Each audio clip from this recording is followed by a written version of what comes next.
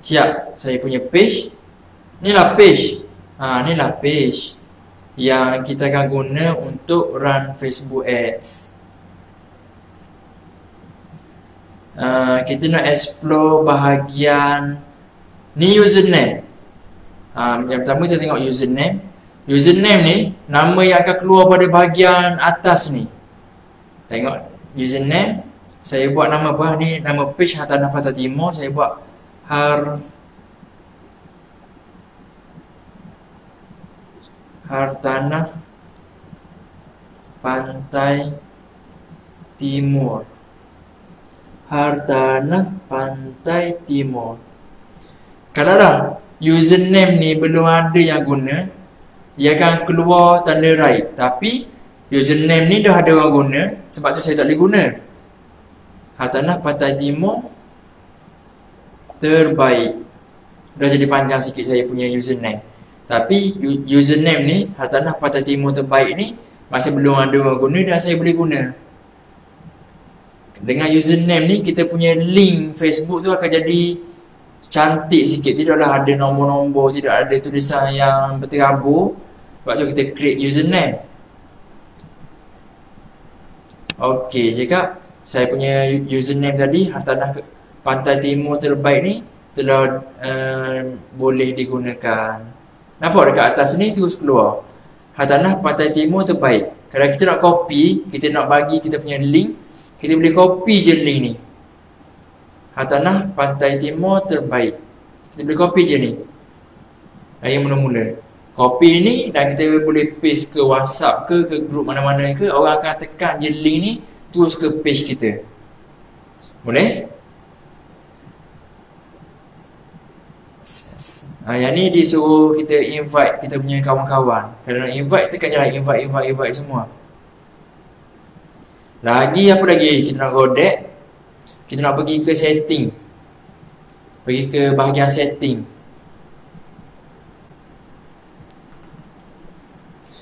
Ni adalah bahagian setting dalam untuk page di Facebook. Ni general. Atas sekali page visibility ni Kalaulah kita nak unpublish kita punya page kita, kita tak nak orang tengok kita punya page Kita boleh unpublish tekan je dekat sini. Save change maknanya page kita unpublish. Yang kedua uh, saya, saya laju sikit bahagian ni Kalau nak cerita satu-satu Panjang. Ni page lain. Balik Nak cerita satu-satu banyak cuma saya pergi kepada bahagian-bahagian yang penting sahaja. Antara bahagian yang penting um, ha, Contohnya ni. Mem, Kita pergi dekat country restriction. Edit bahagian ni. Tulis Malaysia. Malaysia. Pilih Malaysia pilih only show this page to view in this country. Sebab kita tak nak orang-orang dari Indonesia yang bukan target kita orang dari Thailand, orang dari Singapura, orang dari Pakistan, Myanmar, Bangladesh orang yang bukan target kita. Sebab penting setting ni adalah sekat dia biasanya ia masalah berjangkit seorang Bangla app akan ramai Bangla-Bangla lain juga akan app. Dia akan berjangkit. Saya bukan nak resis, nak jadi fasis ke resis ke apa semua. Tapi mereka bukan target kita. Kita biasanya target orang Malaysia yang faham copywriting kita yang yang pandai buat payment, online payment ataupun pergi ke CDM yang mana mereka-mereka ni bukan target dan mereka kurang pada bahagian tu. Siap? Boleh save? Boleh save? Ni saya save change. Bawah ni ada umur. Kalau nak setting umur pun boleh. Uh, dia ada public page uh, umur dari 17 dan ke atas umur berapa? Boleh pilih tapi saya biar je pada bahagian ni sebab umur ni biasa saya setting di iklan Facebook ad terus. Lagi bagi apa lagi? Comment ranking pun boleh nak edit. Uh, saya saya kurang buat um, comment ranking ni kalau nak edit boleh. Tapi pastikan orang komen kat kita tu baik-baik. Kalau kita buat ads lepas tu orang kecam, janganlah tip pada bahagian ni. Kalau nak kita buat ads tu uh, dan pada bahagian komen dekat ads kita tu kita kita sendiri post. Kita sendiri komen dekat kita punya post dan orang like dekat komen tu dan dia akan jadi komen kita tu komen yang orang like, komen yang kita post dan komen yang orang like tu dia akan jadi top. Ha, maknanya Facebook akan jadikan kita punya komen tu sebagai relevan. Biasanya business owner yang run ads dia akan post testimoni pada ruangan komen dan kita nak orang like testimoni tu supaya bila orang tengok komen, komen tu yang orang nampak. Faham kan maksud saya kan? Kalau nak buat tu, tekan save change tik pada bahagian ni dah tekan save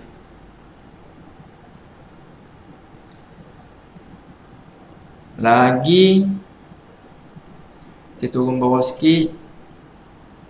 Kita pergi bahagian page info. Anda boleh masukkan semua info berkaitan bisnes anda. Description ni bagilah penerangan. Contohnya ni page hartanah boleh cerita? Hatanah Pantai Timur merupakan sebuah syarikat yang telah ditubuhkan sejak tahun 2006. Sekarang Hatanah Pantai Timur telah berpengalaman selama 14 tahun dalam bidang hartanah uh, seperti jual beli tanah lot, seperti pembinaan rumah dan jual beli barangan hardware contohnya. Boleh masukkan di description cerita semua berkaitan bisnes anda, produk ataupun servis anda. Lagi uh, kategori kategori bukan boleh letak satu dia boleh letak banyak contohnya tambah lagi property property management company kategori ni boleh boleh letak banyak. Tapi letaklah kategori yang relate dengan kita punya business. Janganlah ni property tapi sini kategori letak kosmetik takut nanti dia ganggu kita punya performance untuk Facebook ads. Boleh? Siap. Boleh letak banyak Lepas tu boleh save je. Lepas tu Phone number Masukkan phone number kita Phone number ni bagus Letak phone number yang ada WhatsApp business Nanti senang nak link dengan kita punya iklan Dengan kita punya messenger Website kalau ada pun boleh letak Email Bila kita completekan bahagian ni Orang pun jadi confident untuk untuk datang untuk untuk apa? Untuk tengok kita punya page, untuk beli kita punya produk. Lagi um, yang ni kalau kedai makan, kalau uh, kalau business service macam bengkel, macam bank, tempat bengkel aircon ataupun kedai jual bateri kereta yang melibatkan kedai-kedai saya sangat suggest anda letak mula pukul berapa tutup pukul berapa. Hari apa buka hari apa tutup. Supaya bila orang cari dia terus boleh tahu. Contohnya um, dia search tu hari selasa. Dan hari selasa kita tutup kedai dia tengok kat facebook kita tu dah tulis dah close. Ini ini adalah fungsi dia dan dia akan memudahkan orang lain. Faham? Lagi Lagi yang lain simple-simple saja. Saya Benda ni buat setting sekali je Mula-mula je macam leceh sikit Tapi buatlah. Lagi apa lagi saya nak beri penerangan sikit? Um, antara Perkara lain yang penting adalah Pada bahagian ni.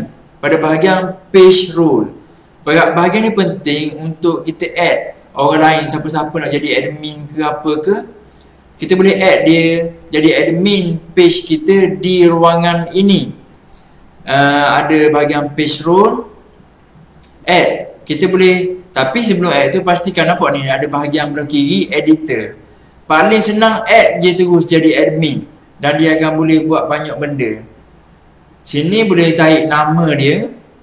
Contohnya saya nak tarik nama Miza jadi admin. Jadi saya add Miza. Ataupun cari tak jumpa, saya boleh masukkan email siapa-siapa di ruangan ni. Contohnya saya nak masukkan email ni Hafizudin Rani at gmail.com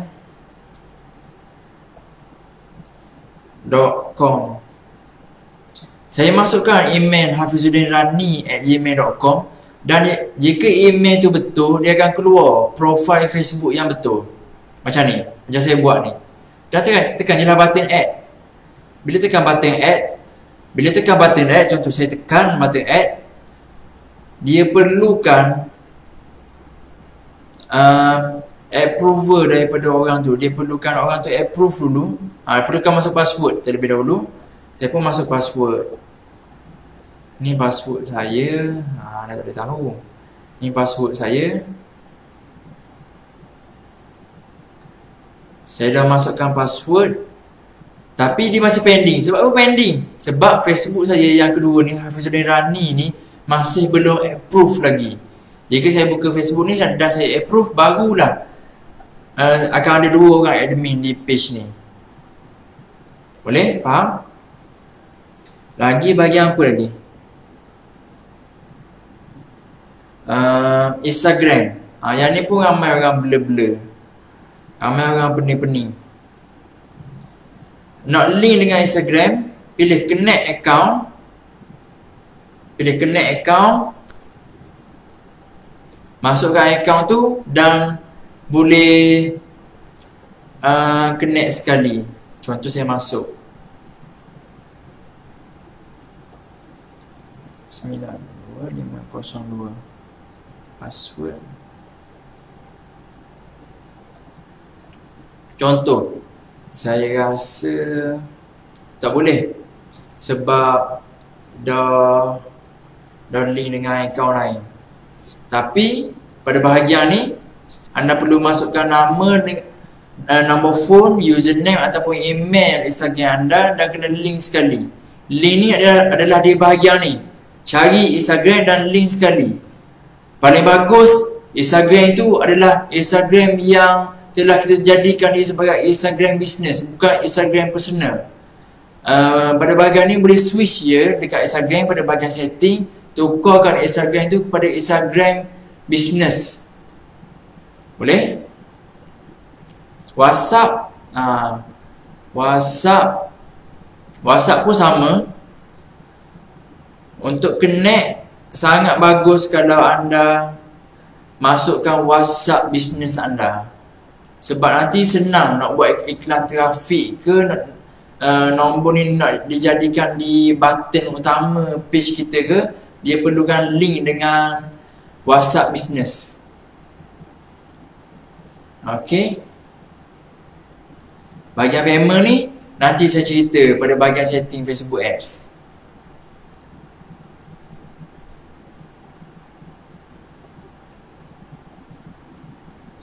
Saya rasa pada bahagian create page ni simple je saya seni je saya nak cerita. Sebab dia tidaklah terlalu complicated. Dalam masa seminit pun boleh siap dah page ha, Ni ada button, add button yang ramai orang tertinggal. Add button boleh pilih contact you. Kalau kita ni suka orang call kita boleh pilih call. Ataupun kita nak orang whatsapp boleh pilih whatsapp. Next. Lepas tu send whatsapp code. Add number. Number ni Mestilah number whatsapp business ha, Masuk balik pada bahagian tadi Dia sama je. Okay Saya rasa bahagian create page Itu sahaja. Simple, mudah Dan boleh godek-godek sendiri. Bukan tak uh, lepas tangan ke apa Tapi boleh godek-godek sendiri. Kita jumpa next video bila anda dah siap page anda